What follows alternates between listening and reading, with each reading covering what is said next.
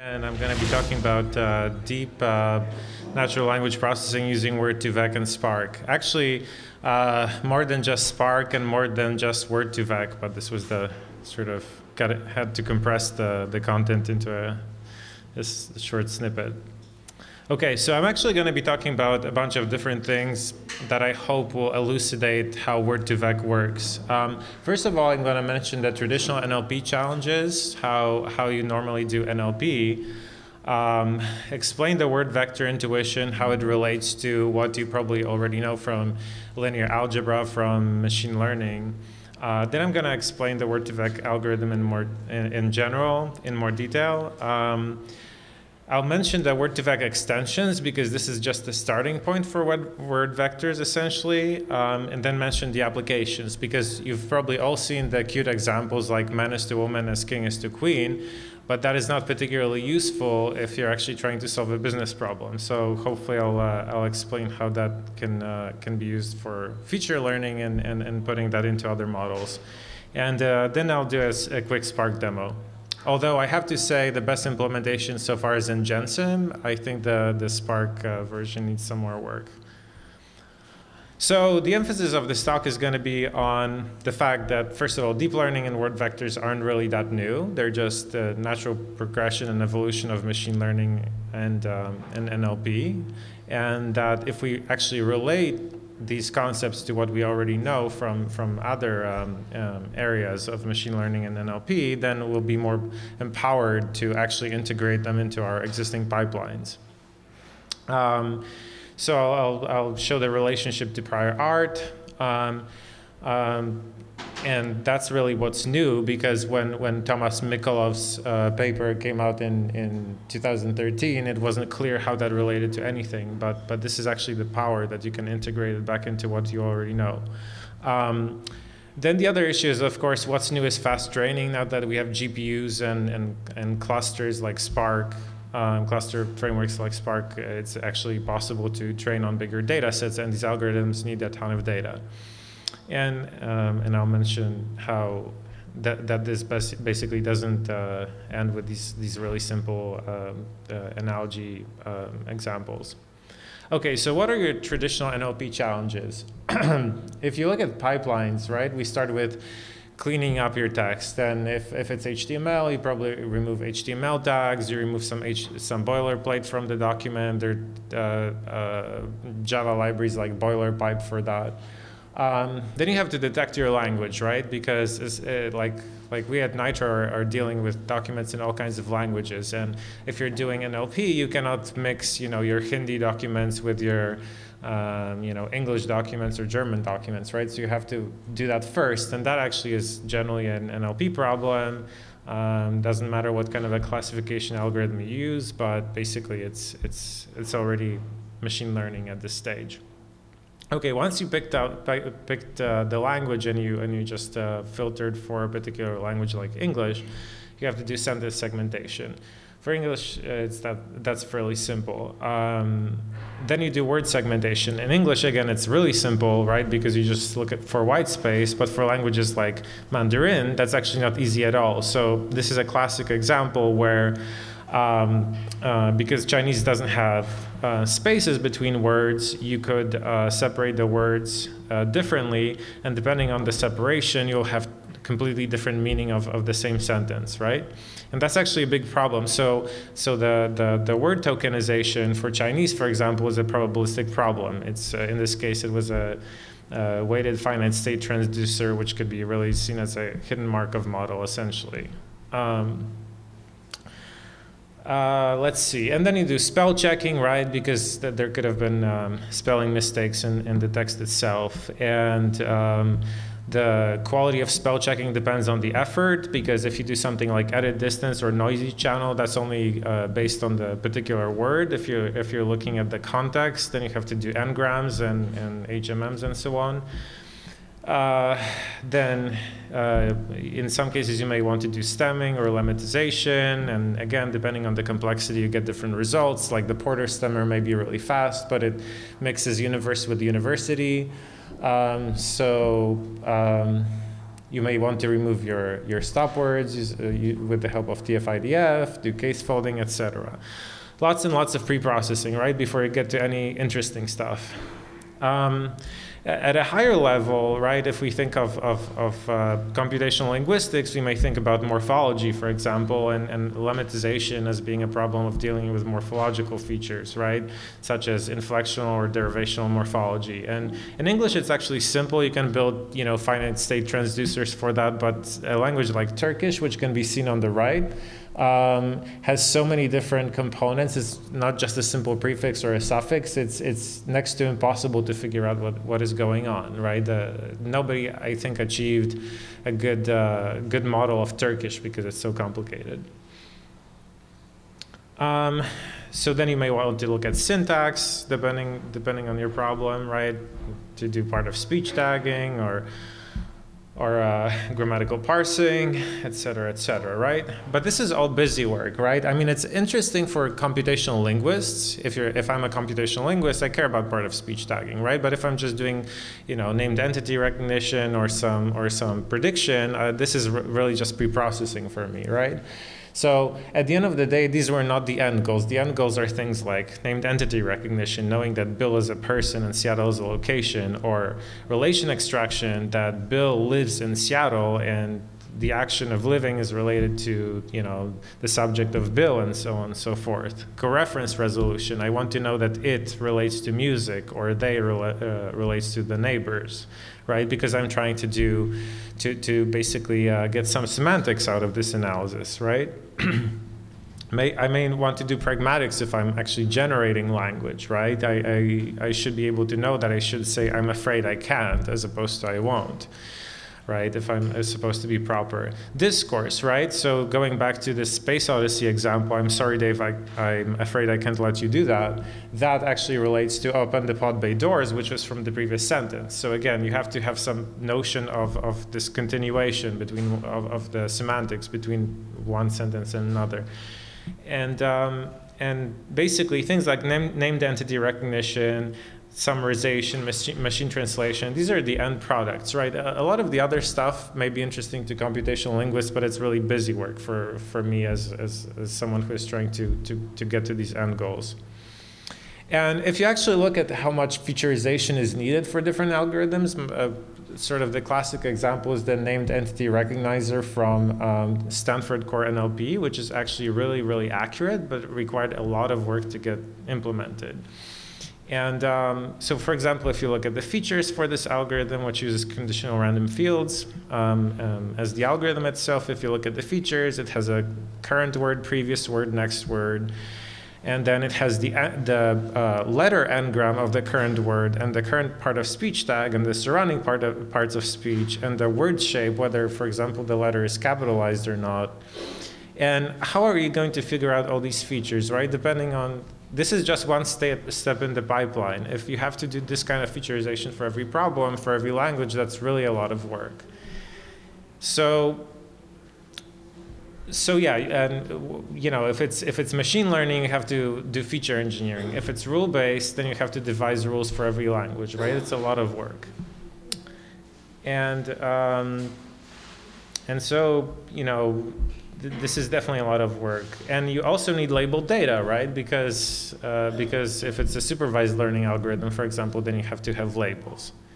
So, okay, enter word vectors. They're supposed to solve a lot of problems here. Um, so word embeddings, as Adam Gibson said during his previous talk, is, is basically just a way to compress the word into a numeric vector of, of double numbers. And that vector is supposed to be short, up to three or 400 elements, and it's supposed to be dense.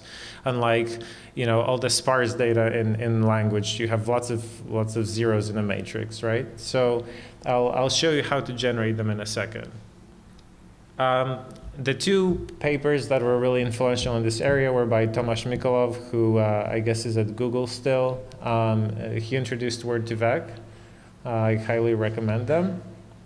But um, if you look at it uh, more broadly, this is actually not a new concept. And th this is the point I'm trying to drive home, that this is not some revolutionary technology that will replace all of machine learning and NLP, you know, uh, despite all the you know, media attention that, that has been generated around deep learning. This is actually not new.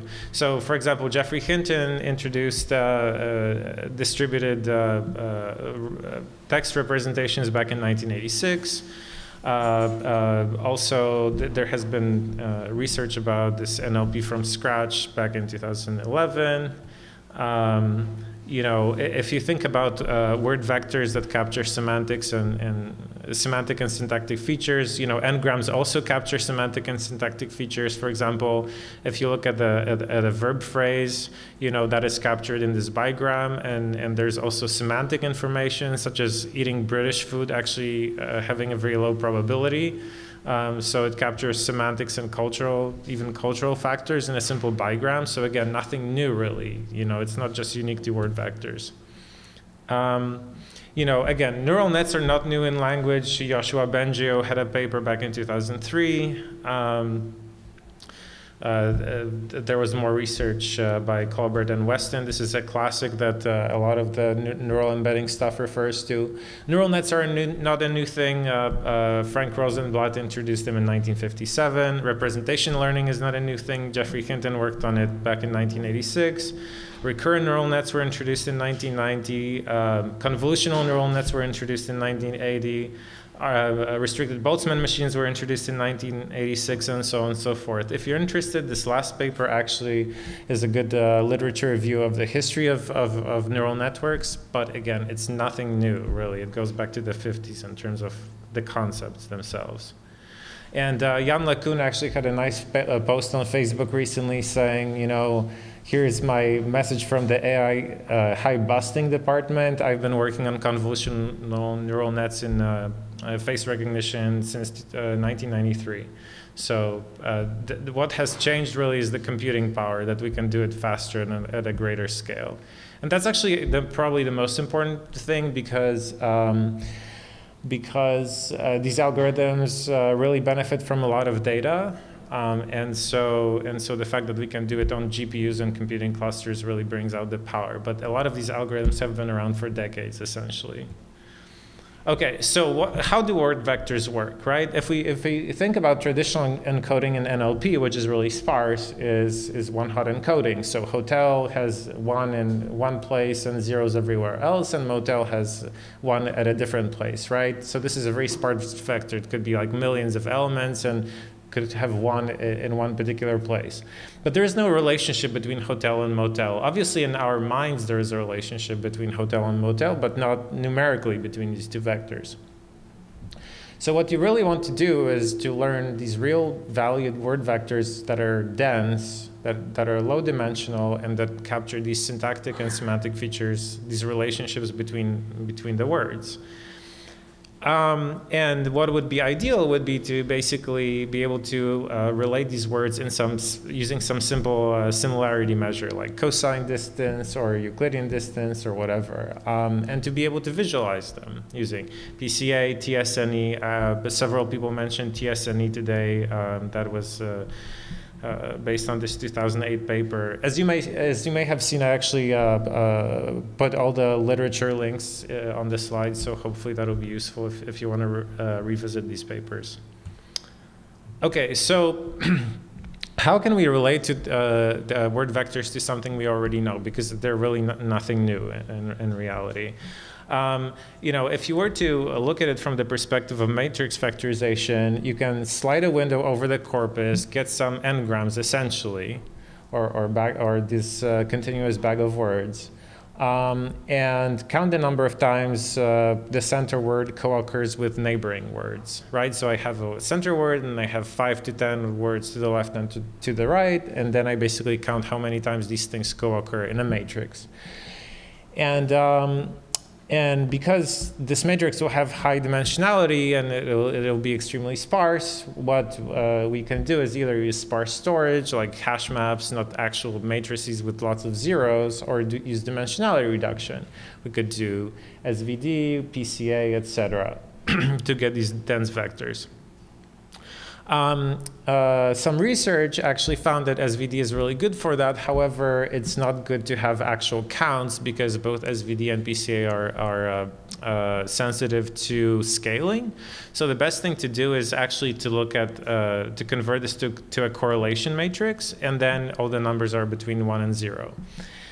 And uh, you know, uh, if, if you want to refresh your linear algebra, basically you create two diagonal matrices and multiply it times the original covariance matrix, and that's how you get correlations, um, Pearson correlations anyway.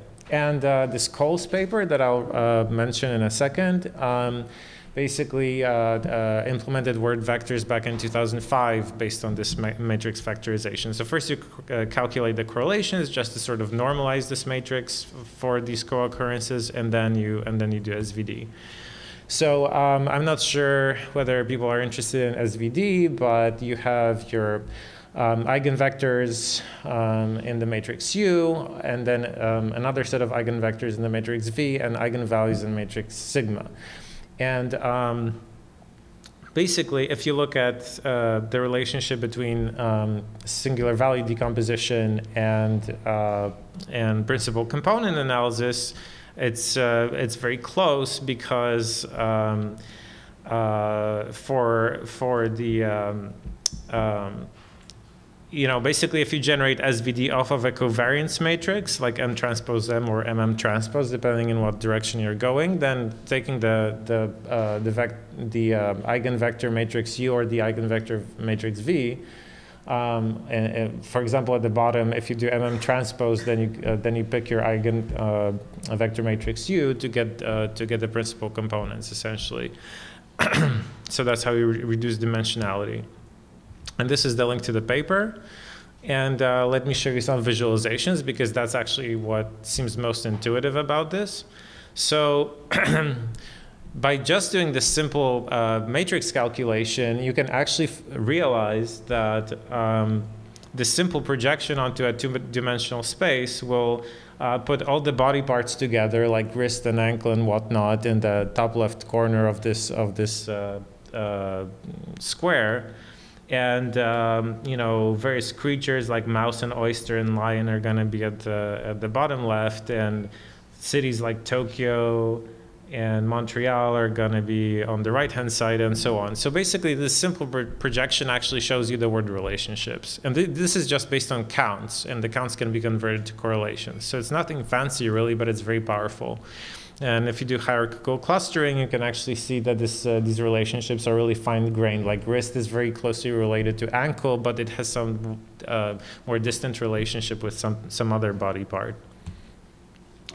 And um, you know, the, the, this this can go on and on. So, for example, swim is related to swimmer the same way teach is related to teacher, and marry is related to bride, and pray is related to priest.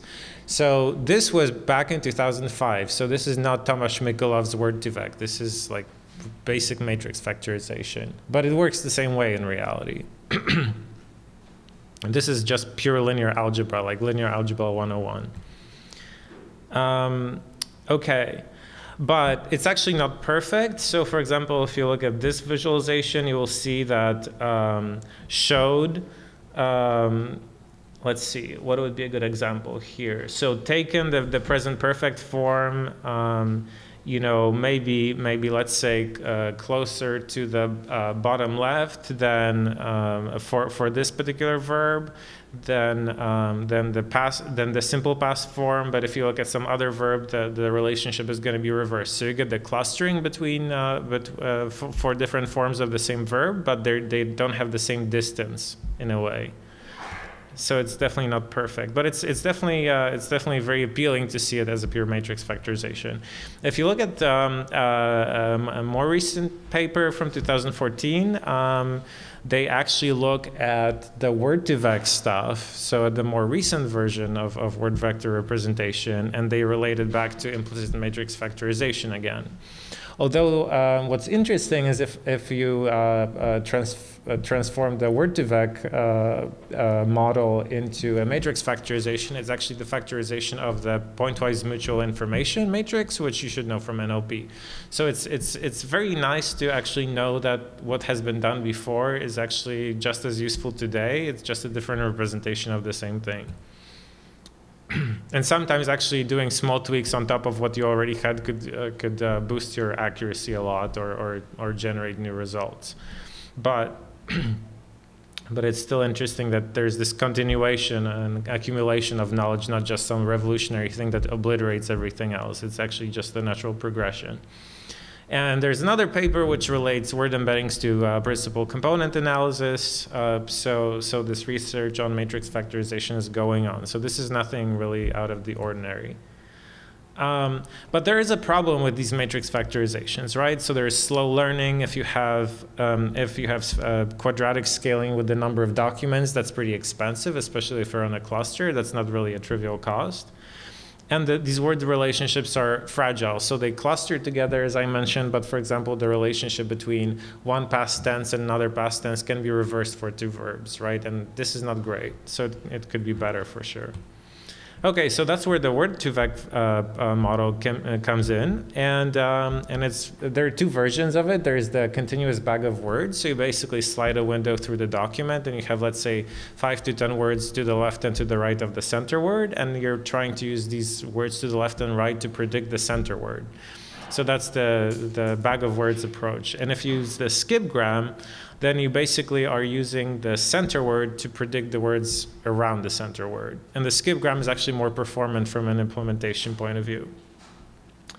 Um, and and so essentially you're basically trying to, to uh, optimize this cost function, which is just based on the uh, summing these log probabilities of, uh, of the words surrounding the center word uh, condition on the center word. So that's the skip, skipgram model, which is actually easier to explain.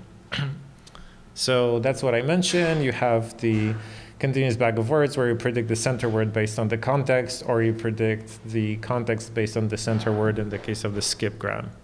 I'll, um, I'll probably get to the math a little bit later, but um, let me just show you something re real quick here.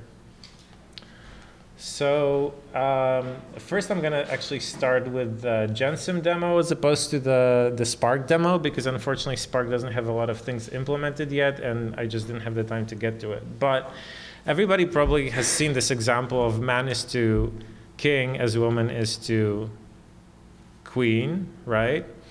And um, I'll actually explain why this tends to work. There's, there's a very simple mathematical reason behind this, but um, you can see that queen was the top choice in terms of the, the greatest cosine similarity, but there was monarch and princess and so on as, as, as uh, runner-ups. So it's... Um, um, so these analogies are, are one way to, to think of Word2Vec. Um, um, and this is sort of a nice way to dazzle VCs and stuff, but it's not particularly useful for solving actual business problems. Um, I would say that the uh, uh, uh, basically finding finding similar words, not exactly synonyms, but similar words is probably more useful. So you can find, for example, you know, if, if you search for iPhone, you're going to find iPad, and if you search for I don't know Java, you're going to find what? What are you going to find? Let's see. Oh, that is weird. okay, that's the actual that's the actual geographic Java. All right, that's fine. But here's but here's my favorite. What do you find if you click on USA? Anybody want to guess? Has anybody seen this demo before? Okay, check this out. This is like how, how great the semantic analysis is of, is of Word2Vec. Trademark lawsuits, awesome. You also can do odd one out, like uh, what is not related here? Dinner, cereal, breakfast, and lunch. Well, cereal is not a meal type. I mean, it's a meal type, but it's not a meal per se, right? So it's gonna odd one, odd, uh, odd one the cereal, right? This is actually really cute, but you have to remember that this was learned on 100 billion words, so that's not a small data set. Um, and it really took a long time to train. But GenSim is actually really fast. It's it may be Python under the hood, so the Java people are probably going to cringe. But uh, but the, implement, internal implementation was using BLAS, which is a Fortran library that's the fastest linear algebra you know, uh, system that exists, and the Python part is written in Cython, so it compiles to uh, to machine code anyway. So this is actually really fast, and um, um, you know, this can run on common crawl in a couple of days, probably like two days or something. It's it's actually on a single machine, so you don't need Spark for everything. and uh, GenSim is a really nice library. So let's go back to the presentation. Oh, let me actually look at Spark now because I think Spark is next. Yeah.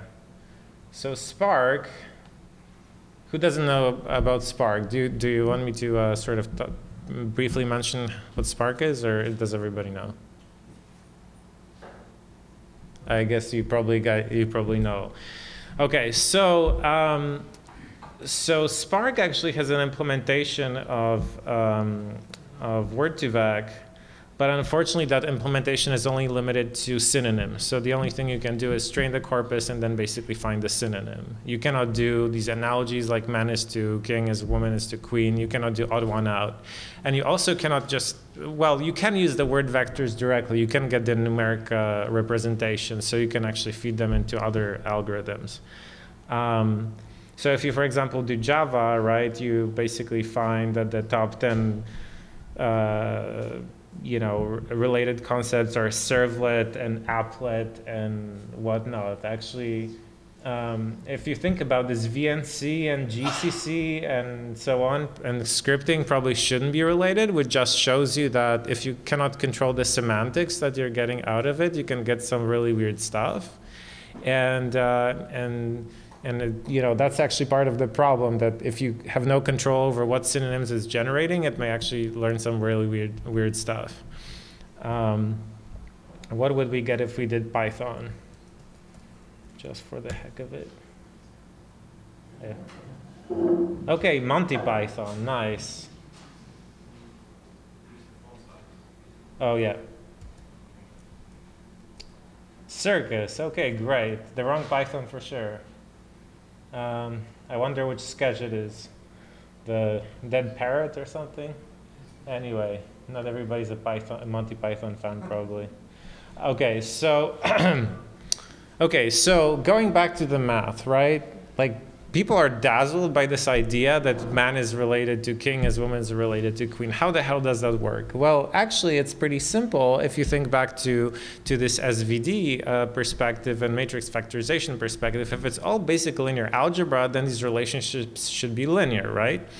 And there's this Microsoft research paper another paper by Tomasz Mikolov, actually, um, which basically shows that these are simple vector offsets. So if you look at this vector space at this two-dimensional projection, um, these vectors have the same, um, basically a, a, a, particular concept um, resu results in a particular uh, two-dimensional offset of the original vector. So if you, for example, add the, uh, if you subtract the concept of man from king, then you still still have this notion of being regal, right? And then you add the concept of woman, so you get queen because it's just a it's, it's just a two-dimensional offset. And this vector uh, and this paper actually shows how how this works. But essentially, if you can believe that uh, this linear algebra decomposition from the beginning um, uh, is a good representation for the intuition behind Word2Vec, then then simpler vector offsets should actually work. And, um, and this is not just for, uh, for semantics. This is not just for semantics such as, you know, uh, uh, man being related to king, but it's also uh, syntactic uh, uh, representations. So king and kings and king and, and queen and queens, for example. Um, uh, just briefly, there was another really brilliant paper which basically says, hey, this is not just auto magical and I have no control over this algorithm. You can actually um, uh, control what these vectors are representing. So, for example, uh, if you just used word2vec and you related Alan Turing to other things, you would get finite state and deterministic and computability. But if you wanted to relate Alan Turing to Linus Pauling and Harold Hotelling and other scientists, then you could do that because if you control the the uh, dependencies um, in, in your sentences, then you can basically force the model to, to uh, learn different things. This is really cool because this is an unsupervised learning algorithm, so normally you would just have to deal with whatever it learns, but if you can control what it learns, then it's actually very powerful. Uh, there's this GloVe paper, which uh, which basically sh uh, again shows the relationship between between linear algebra and, and neural networks and, and, and how it all fits together. And this paper actually shows even faster ways to learn than Word2Vec. Um, um, although it makes a claim that it's more accurate than Word2Vec, and this was disproven by these folks in Israel who said, look, if you actually compared apples to oranges, if you looked at the same window sizes and the same you know, data sets and stuff, you would actually realize that it's basically the same accuracy. You may actually have a better intuition behind your model, and it may learn faster than Word2Vec, but it's not really super awesomely more accurate. Um, and um, let's see. Okay, this is actually a really good paper because a lot of people complain about deep learning and about you know machine learning in general that hey I don't know how to tweak my hyperparameters and especially deep learning has a bazillion you know parameters like window size and regularization and whatnot and how do I actually figure it out? Like what how long should my word vector be? Should it be 300 elements or 5,000 elements? Like how do you tweak that right? And these guys basically did a um, um, uh, showed some results with different uh, hyperparameter settings to give you an intuition as to what the good starting values are. And this was actually done for a lot of the uh, deep learning um, algorithms. So the point is that don't complain if you haven't read the literature because they actually how, these people are helpful and uh, and if you start with their settings and then tweak it based on your data set then you you can save yourself a lot of time. So these guys for example did that for word2vec which is really really a big time saver. Um, there's paragraph2vec and doc2vec. This is implemented in Gensim. Um, there was this paper by Tomasz Mikolov and Quoc Le uh, uh, from Google, and this is actually really interesting because you can apply this notion to uh, paragraphs or to whole documents. If you do it at the word level, then you get the semantic and syntactic relationship between that word and other words. But if you do it at the document level, then you're basically going back to uh, latent semantic analysis or topic modeling. Um, but this this is just really for feature learning. You know, this whole queen and king and man and woman example is not really useful for uh, everyday solving everyday business problems. It's just cute, right? But it's not really useful. But if you use uh, uh, Word2Vec and apply it um, apply these word vectors as features to your existing machine uh, learning and, and, natural language processing models, then you can deal with morphological problems. There was a paper about that. There was, of course, this super famous paper by Richard Socher from last year about doing uh, very complex sentiment analysis uh, that had several conflicting sentiments in one sentence and still getting the overall sentiment correctly.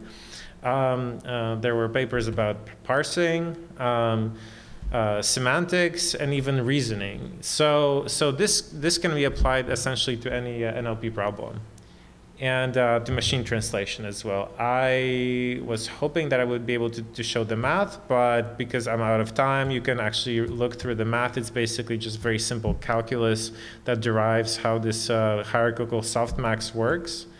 Um, uh, it's, it's really simple, actually. Um, unlike a lot of the machine learning algorithms that are really hard to understand. so just to recap, um, word vectors in deep learning aren't anything new. They're just a natural progression. Um, understanding relationships to prior art actually helps you reuse word, uh, these word vectors in all your NLP problems that you've been already dealing with and just plug it into your existing systems and the real world use cases run the gamut of you know sentiment analysis, um, named entity recognition, machine translation, and so on. So they're useful basically all over the place. Um, thank you, and I hope I still have time for questions, or do I not? Okay, all right. Sorry. So uh, catch me after, I guess.